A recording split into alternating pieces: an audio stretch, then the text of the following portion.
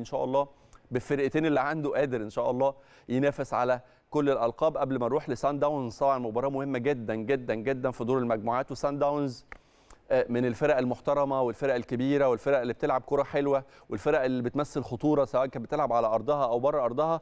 ماتش السبت إن شاء الله هيكون ماتش صعب لكن بإذن الله قادرين نعمل عرض قوي ونأكد إن شاء الله بإذن الله على فرصتنا في صدارة المجموعة بالمناسبة سان داونز من مواجهة المريخ. المريخ السوداني طبعا اللي بيلعب معاه في نفس المجموعة. هم لعبوا ماتشهم على ملعب الأهلي والسلام فبالتالي سان داونز موجود في مصر موجود تحديدا في في اسكندرية.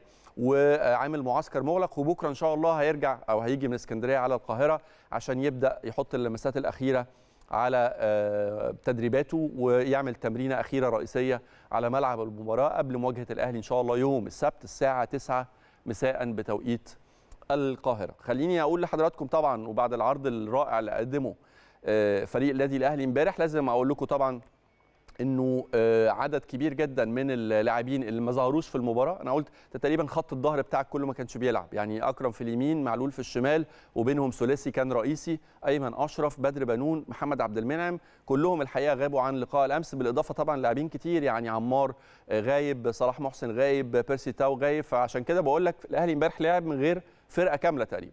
لكن الجديد في الموضوع إنه النهارده عبد المنعم ومعلول شاركوا في تمرينة الفريق وجاهزين بإذن الله لمباراة سان داونز كمان بيرسي تاو داخل في الحسابات.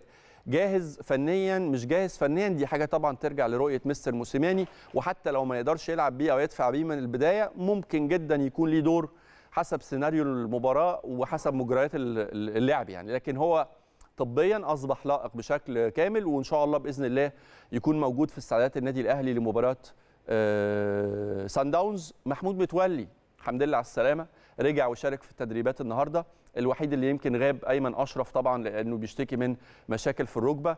حمدي واليو ديانج ما شاركوش في التمرينة لكن اكتفوا ببعض التدريبات في الجيم يعني عشان يكونوا جاهزين وفي نفس الوقت يمكن بيعانوا شوية من من حالة إرهاق لكن بدنيا هم جاهزين وإن شاء الله بإذن الله هيكونوا موجودين مع الفريق في مباراة سان داونز ده دي قصة أخبار من الأهلي النهارده اللي اتمرن الساعة 11 الصبح وزي ما قلت لكم طبعا سان داونز موجود في برج العرب وهيجي بكرة القاهرة عشان يستعد أو يخوض التمرينة الأخيرة والأساسية على ملعب المباراة عشان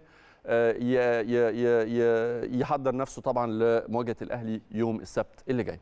امبارح طبعا تألق عدد كبير من نجوم النادي الأهلي، كلهم تألقوا الحقيقة وقدموا مباراة غاية في الروعة.